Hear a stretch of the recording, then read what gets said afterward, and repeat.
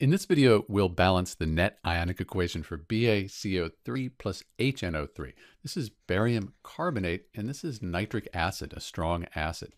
Before we start, it's important to note that the barium carbonate and the nitric acid, it is a double displacement reaction. You end up with this H2CO3, carbonic acid, but then that breaks down into carbon dioxide and water. So we're going to write the net ionic equation for this equation here.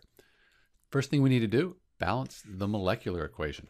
I can see there's one nitrate here, and then I have two nitrates here. So I'm going to put a 2 in front of the HNO3, and I believe that balances this equation, this molecular equation. Now we can write the states for each substance.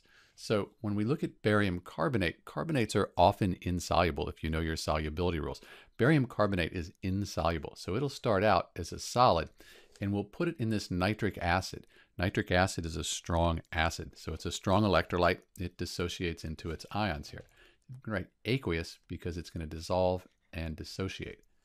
Nitrates are very soluble, AQ, and then carbon dioxide is a gas and water is a liquid. So we have the states. Now we can split the strong electrolytes into ions for the complete ionic equation. We don't split solids apart in net ionic equations, so we're just going to leave this as Ba CO3. And I won't write the states now. Let's do that at the end. Hydrogen group 1, 1 plus in the whole nitrate ion, 1 minus. Good one to remember. Two hydrogen ions, and then two nitrate ions. So these are the reactants in our net ionic equation here. In the products, barium is in group 2 on the periodic table, so that's 2 plus, we said our nitrate, 1 minus. So we have Ba, 2 plus, barium ion, and again, we have two of these nitrate ions. So two nitrate ions.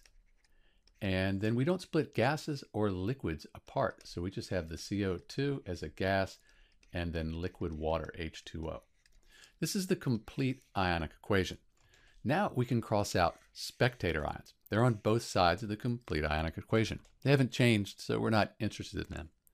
The only thing that hasn't changed these two nitrate ions, I have them here in the reactants, and then here in the products, again, I have two nitrate ions.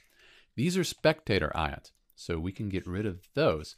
That leaves us with the net ionic equation for barium carbonate plus nitric acid. I'll clean this up, write the states, we'll have our net ionic equation. So this is the balanced net ionic equation for BaCO3 plus HNO3.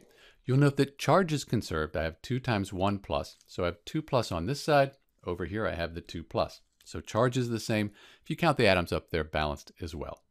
This is Dr. B with the balanced net ionic equation for barium carbonate and nitric acid. Thanks for watching.